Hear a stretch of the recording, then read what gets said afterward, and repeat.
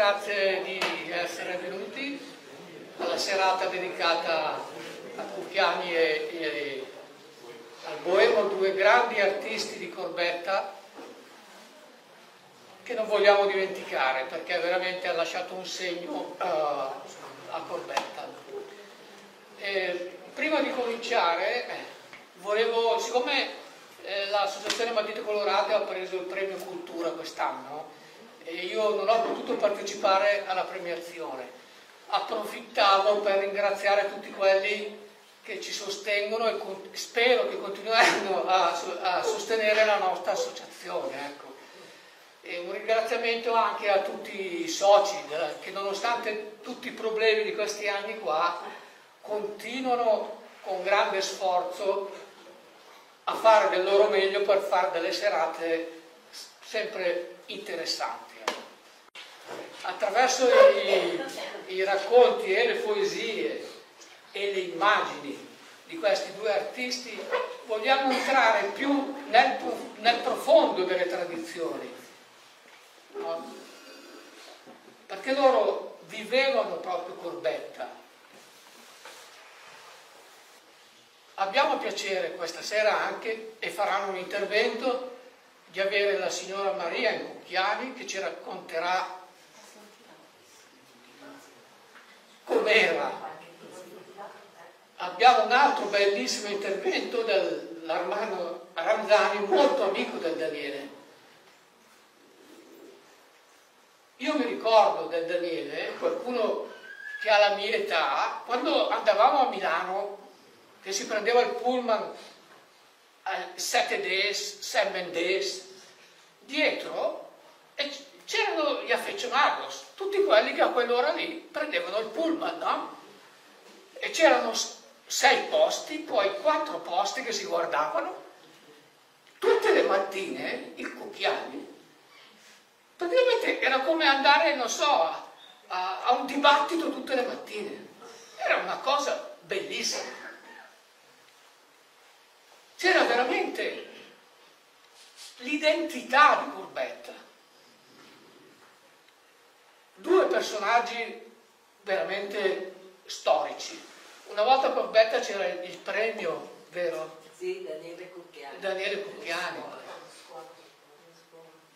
Perché poi il tempo ci porta via sempre mille problemi, mille cose, ci porta via tutto.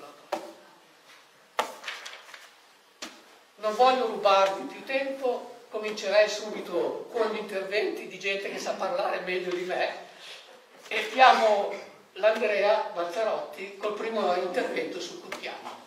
Allora, buonasera, io vi ringrazio, mi associo anche alle belle parole che ha detto, che ha detto Roberto adesso, spero sia una bella serata anche perché parliamo di gente di Corbetta che per noi è veramente un onore e a me l'onore e l'onere di iniziare questa serata con un intervento su quello che appunto è un personaggio per noi importante, Daniele Cucchiani, siamo qua anche per parlare di lui, siamo per parlare della sua storia, della nostra Corbetta. Daniele Cucchiani nasce a Corbetta nel 1931, cugino di Gianni Saracchi, quindi in parte eh, potremmo dire proprio nel, cuore della corbettinità, e si dedica sin da giovane a due passioni che l'accompagneranno per tutta la sua vita, il dialetto e la poesia, elementi che lo porteranno per l'appunto insieme a dedicarsi alla poesia dialettale. I suoi temi hanno sempre avuto per centro Corbetta e le sue tradizioni, la sua gente, in particolare la sua parlata. Si potrebbe definire Daniele Cucchiani come un cultore vero, preciso e scientifico del dialetto di Corbetta che scriveva correttamente e, si badi bene, è diverso da come lo si pronuncia, e che ha, così facendo, contribuito a salvare un enorme patrimonio immateriale di conoscenze dei nostri vecchi. La grande dote di Daniele fu quella di inventare ex novo, comporre per il piacere di farlo, per la sua città, per la sua gente, mescolando insieme tradizione e spontaneità, gioie e tristezze, storia e fantasia. Trovò il coraggio di pubblicare i suoi scritti forse troppo tardi, ma è comprensibile se pensiamo che, a differenza del suo contraltare che fu Luciano Prada, aveva un carattere più riservato, più schivo, viveva un rapporto più intimo con la sua corbetta.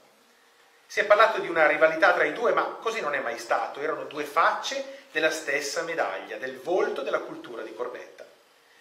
In Leggende Curia Pictane, per esempio, uno dei suoi lavori, Cucchiani ha raccontato l'assedio del castello di Corbetta ad opera di Corrado il Salico nel 1037. Scusate, ma da storico ogni tanto mi capita di soffermarmi proprio su queste cose. Con la fedeltà però degna di un cronista medievale. Eppure ha saputo aggiungervi personaggi coloriti e spesso tratti dalla sua fantasia in chiave popolare e dialettale come per esempio l'abate Gelsonino della Roveda, il quale nel caos dell'assedio è intento a gustarsi gamberi di fiume nella totale straordinaria indifferenza che solo il popolo sa avere con tanta signorilità di fronte ai grandi eventi della storia. È lui a parlarci della leggenda dell'angelo caduto miracolosamente dal campanile durante il crollo del 1902 e posatosi illeso nel giardino del vicino Castelletto. Quindi vedete quanto di quello che noi sappiamo della nostra corbetta c'è e parte, si origina da Daniele Cucchiani. Ecco perché dico che non possiamo prescindere da lui, perché è parte integrante dell'area che respiriamo nel nostro paese. E poi il trionfo di colori in mattina da festa grande, dove un corbettese autentico, e io dico solo un corbettese autentico come Cucchiani, ha saputo esternare tutto il suo amore per la più grande delle feste di Corbetta, quella del perdono, recuperandone le antiche tradizioni, mostrando al mondo come questo momento unico, civile e religioso insieme, dal corbettino verace sia vissuto quasi visceralmente. E qui chi è di Corbetta, nato e vissuto a Corbetta, sa bene di cosa stiamo parlando. In un turbinio di sensazioni ci ha condotto per mano nel suo disnà del pardon, per conoscere il sapore e gli odori di una vera festa vissuta anche a tavola, da buoni italiani. Una degna cornice a quel fiston di cui parla sempre con tanto orgoglio, descrivendo a modo suo e rigorosamente in dialetto il miracolo della nostra Madonna. E poi quei disegni che accompagnano l'opera, come diceva Roberto prima, li aveva fatti proprio lui, quindi un artista a 360 gradi.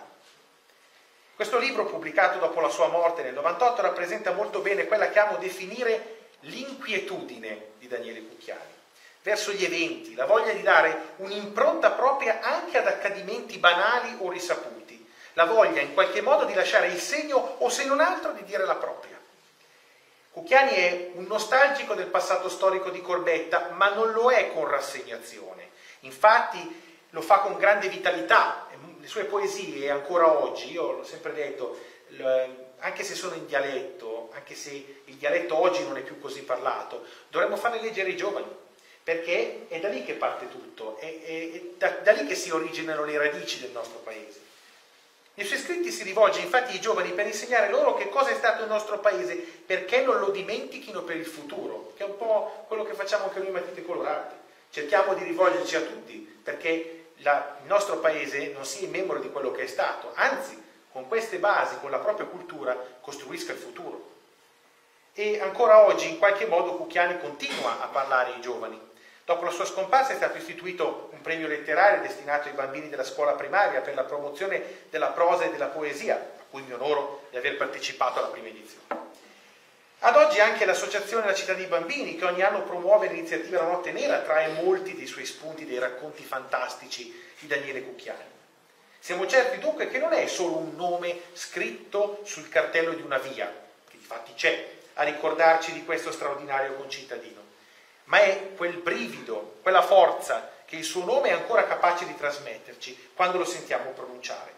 E quindi è questo ciò che davvero consacra un uomo nella memoria di una comunità in eterno.